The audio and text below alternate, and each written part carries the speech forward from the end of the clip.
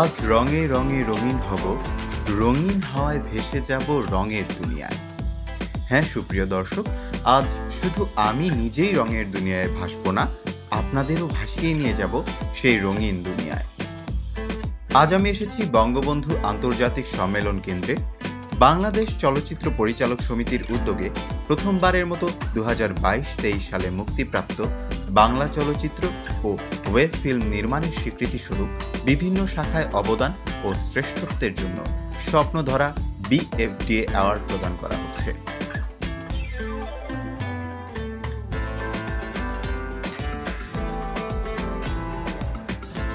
চলচ্চিত্রে এখন একটা সুবাতাস বইতে শুরু করেছে। ভালো বাণিজ্যিক ছবিগুলোর জনপ্রিয়তা ফিরে পাচ্ছে প্রতিনিয়ত। সেই সাথে ছবি নির্মাণের সংখ্যা দিন দিন বেড়েই চলেছে। আজ এই অনুষ্ঠানে স্বনামধন্য অনেক শিল্পী, কলাকুশলীদের উপস্থিতি দেখতে পেলাম।